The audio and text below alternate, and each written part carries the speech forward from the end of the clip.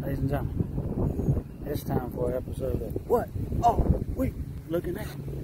And this is not an episode of Willie Bite, because I already know this snake's not going to bite. This is a brown decayed snake. You can see, it's pretty small, and I'm pressure washing the house.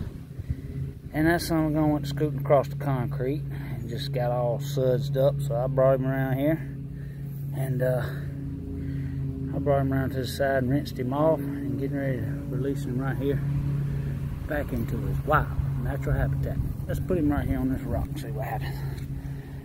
He's just gonna venture off like a good old boy that he is. Oh well, there he is, and we'll see him again another day. If I don't hit him with the weed eater like I did one last week about this same size. All right, we'll see y'all later. Take care. And don't mess with these little brown DeKay snakes.